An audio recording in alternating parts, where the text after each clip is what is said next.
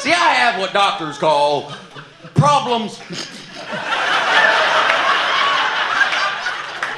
I got a bunch of them. I got in a fight today with the voices in my head because they owe me money.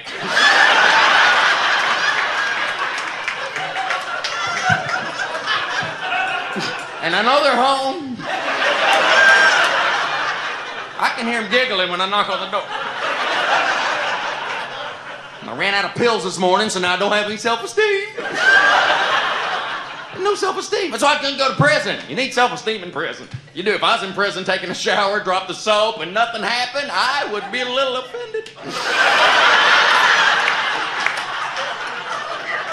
Think about it. You can't find a date in prison. I think you're out of options.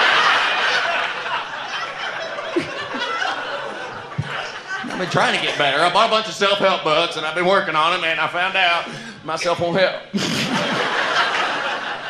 These problems started when I found out my girlfriend was cheating on me with my imaginary friend. and I know they got more in common because he's imaginary and she's invisible.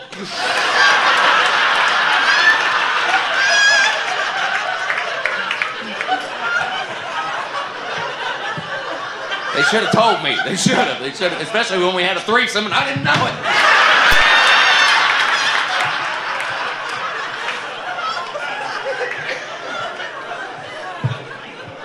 I'm liking y'all. I haven't been in of a group like this in a fancy restaurant since my intervention. These spotlights make me nervous, though. They do. They remind me of that night I got abducted at the dollar store. That was a weird Easter.